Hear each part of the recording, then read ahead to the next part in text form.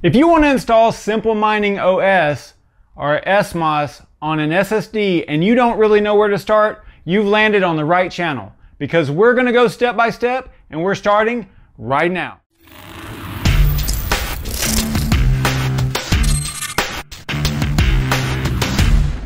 Welcome to the Savage Mine YouTube channel. Today we're going to be installing Simple Mining OS on an SSD. So let's just dive right into it. The first thing you'll want to do is connect the SSD that you intend to install Simple Mining OS on and make sure that there's no data on it that you need because this process is going to erase the entire drive and you have to have a computer that has internet access in order to download the image that you're going to burn to the SSD.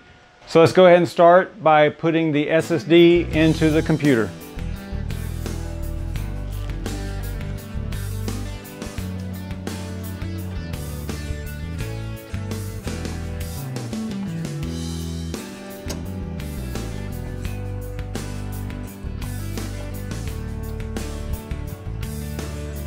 Now we will turn the computer on. Should get a little beep there.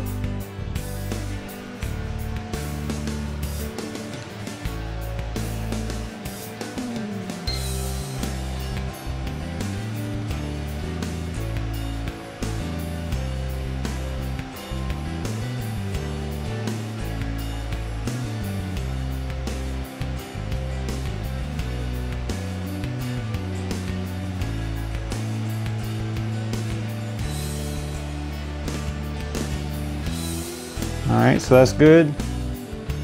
Now let me uh, let me log on here. So then you'll just go to simplemining.net. For this uh, tutorial, we're using an NVIDIA rig.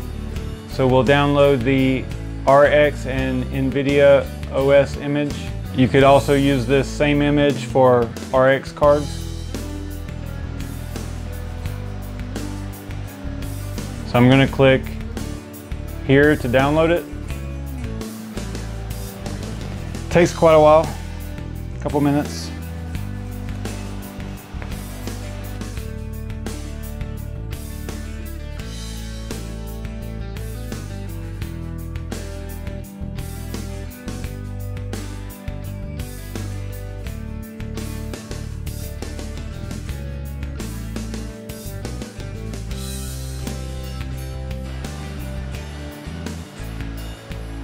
So once it says that it's down, it's uh, done downloading, you can see right here whenever you go into your folder that it still says unconfirmed, so you just have to wait on it. It's got to go through like a verification process.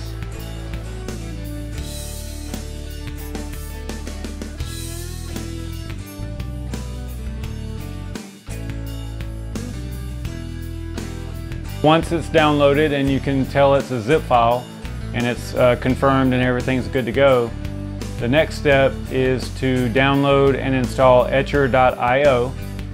This is a um, flashing tool that you're going to use to burn the image, the SMOS image to the SSD, to the solid state drive. So we're going to click on that to download it. I'm using Windows 64, so I'll download that version.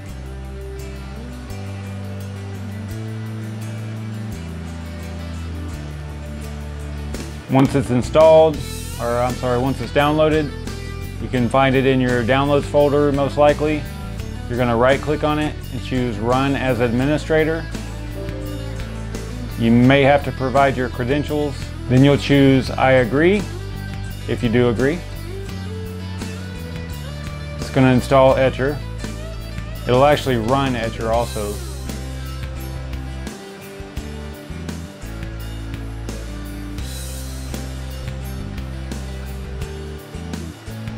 It's down here. Let me get rid of all this stuff here.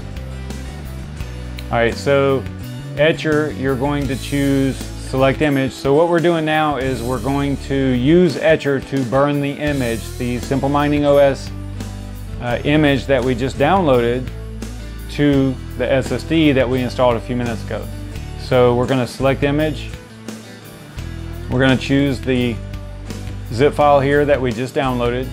Cool thing about Etcher is it knows that the image is inside of the zip file.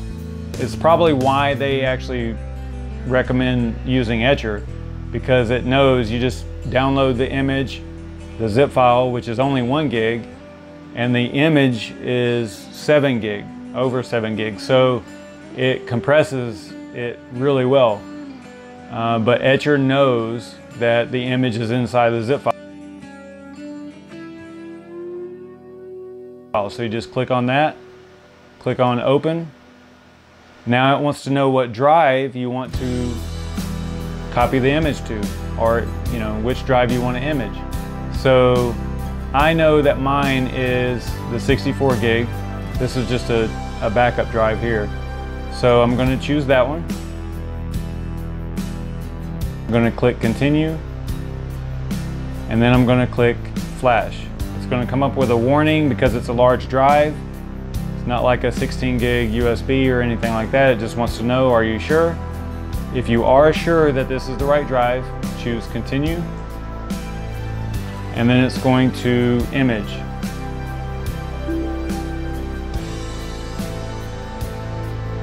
And if you see this message, then that means that you didn't run etcher.io as an admin. So let's do that.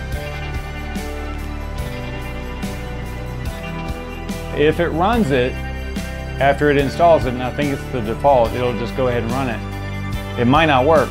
You might have to go back through this and start it as an admin.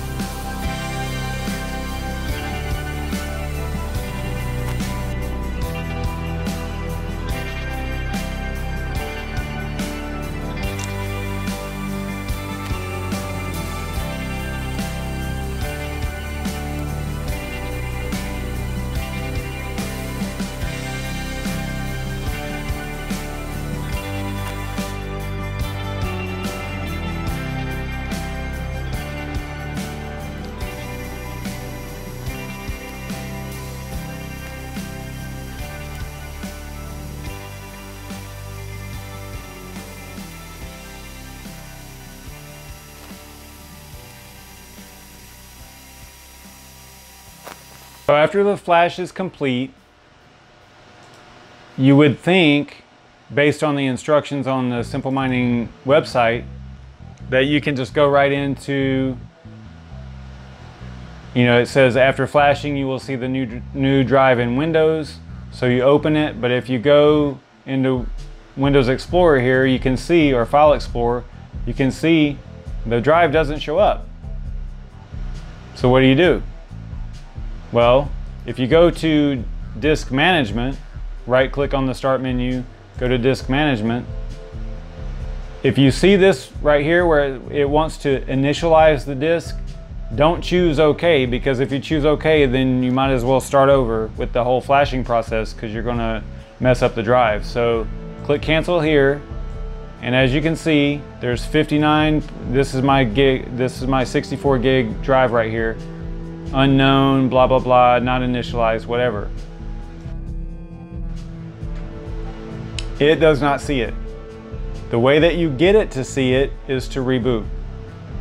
That's what we're gonna do. After you reboot, if you go to File Explorer, you still do not see the drive, but if you right click on the Start menu, go to Disk Management, You don't get that warning about initializing the disk this time, right?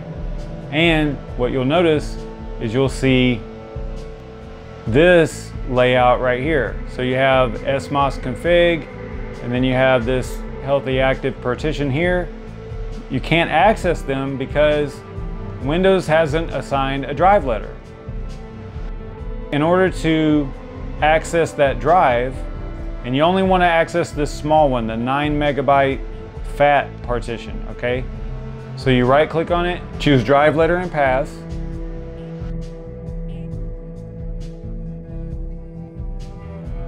Then add. You can assign uh, the drive letter that you want. We'll just choose G, it's just the next one.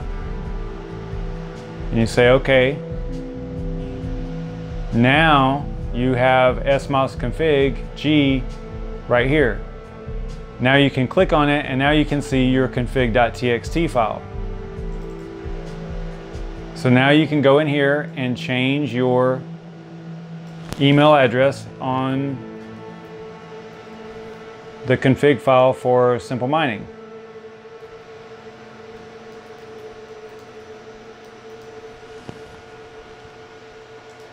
Save that. And now you're good to go. Now all you have to do is shut the machine down again.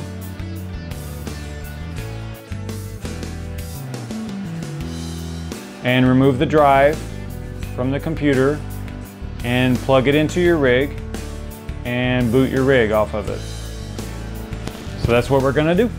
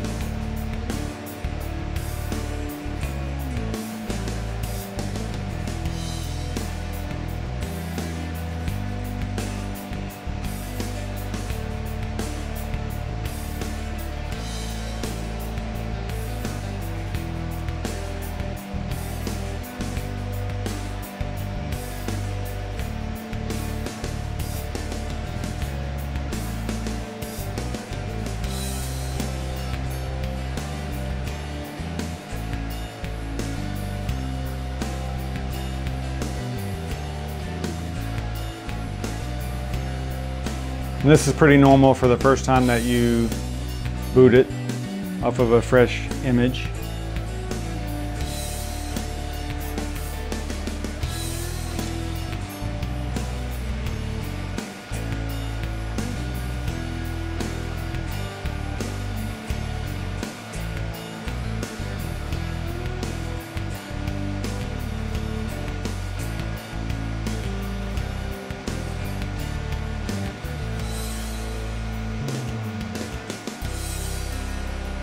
Just make sure it's going to start hashing and then we're going to be good to go.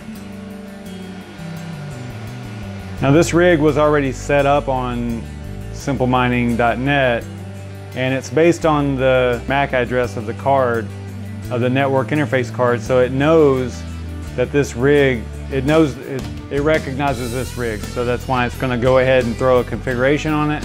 However you have it configured in simplemining.net, is how this rig is going to respond. There we go, finally got a line showing the hashing there. 207 mega hash per second for this little six card rig here. So now you're up and running with Simple Mining OS on an SSD. If you found this video helpful, please be sure to like, share, and subscribe and click the notification bell so you don't miss out on any future videos. I really appreciate everyone's input and comments and likes and shares and all that stuff. And thanks so much for watching. I'll see y'all next time.